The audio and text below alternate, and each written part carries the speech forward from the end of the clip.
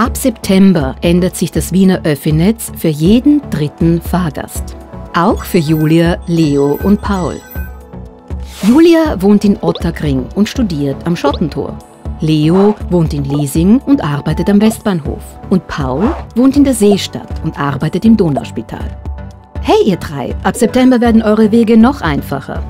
Denn dann gibt es mehr direkte U-Bahn und bessere Bus- und Straßenbahnverbindungen. Das heißt weniger Umsteigen, kürzere Fahrzeiten und schnellere Wege durch die Stadt. Schauen wir uns die größte Netzänderung seit Jahrzehnten gleich genauer an.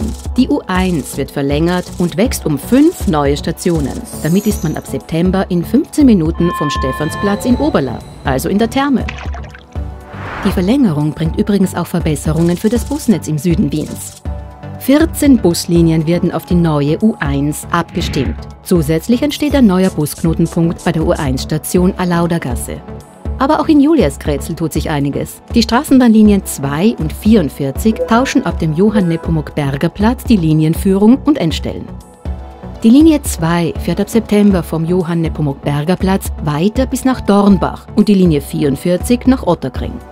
Damit kommt Julia künftig direkt mit dem 44er zur Uni am Schottentor. Fahrgäste aus Dornbach kommen ohne Umsteigen zum U-Bahn-Knoten Volkstheater und den Linien U2 und U3. Neues gibt es auch in Hitzing. Die BIM-Linie 60 wird von Hitzing zum Westbahnhof verlängert und die Linie 10 fährt künftig weiter bis unter St. Veit.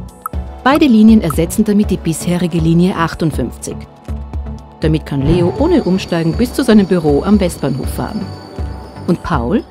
Tja, der kommt schneller in die Arbeit. Denn ab September fährt an Schultagen von Montag bis Freitag in der Früh jeder Zug der U2 von und bis in die Seestadt. Leo, Julia und Paul freuen sich. Ab September sind sie mit den Öffis noch schneller in Wien unterwegs.